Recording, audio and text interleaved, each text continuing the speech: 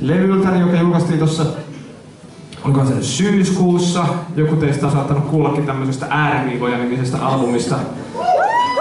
Täällä tunnetaan materiaalia. Joo, tää biisi on... Öö,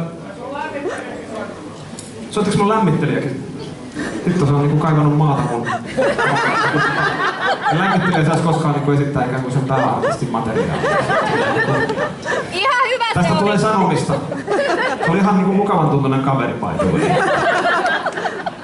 Mutta tota, soitetaan teille nyt biisi uudelta levyltä. Tää on nimeltään... Ää, tää on, tästä on olemassa sille kaksi eri versiota. Joko kiitos ei tai kiitos ei.